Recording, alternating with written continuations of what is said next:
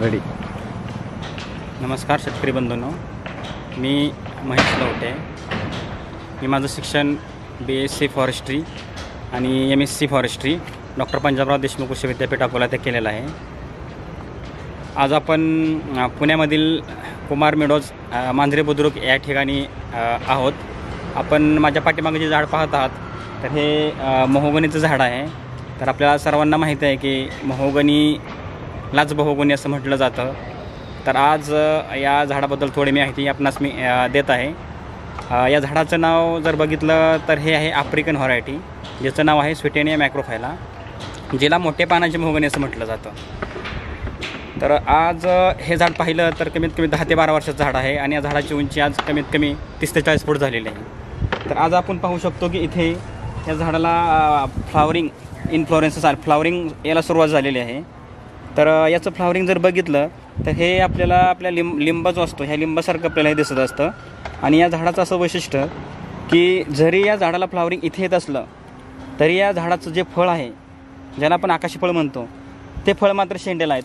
तुम्ही इथे एक ठिकाणी बघू शकता इथे वरती. तर फ्लावरिंग आहे खालती परंतु फळ जे लागलेलं आहे ते वरती लागलेलं आहे. तर आपली जी कंपनी आहे महोगनी विश्व ॲग्रो हे गेली चार वर्ष झालं शेतकरी बांधवांसोबत महोगनीची लागवड करत आहे. आपण महाराष्ट्र मध्य प्रदेश गुजरात कर्नाटक तेलंगणा या राज्यांमध्ये महोगनीची लागवड करत आहोत. कृषी वानिकी हा जो नवीन कन्सेप्ट आहे त्याच्यामध्ये आपण आपल्या रेग्युलर शेतीसोबत अ, महोगनीची लागवड करत आहोत. तर याचा फायदा असा की हे झाड महत्त्वाचं करून फर्निचरसाठी उपयोग केलं जातं. कारण की या झाडाच्या ज्या काही प्रॉपर्टीज आहेत फिजिकल प्रॉपर्टी असतील तर या झाडाचा जास्तीत जास्त उपयोग करून फर्निचर असेल बोट बोट तयार करायचं असेल वाद्य इन्स्ट्रुमेंट तयार असतील यासाठी केला जातो. आणि याचा जर मार्केट रेट जर तुम्ही विचार करायला गेला तर आजच्या घडीला या या लाकडाचा कमीत कमी पंधरा ते वीस घनफूट हे लाकूड पंधरा वर्षामध्ये मिळतं.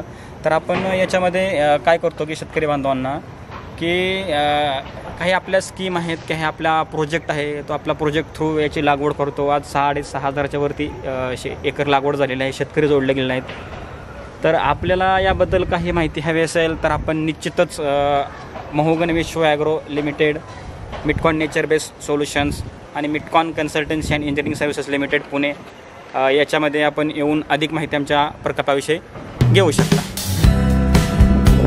तर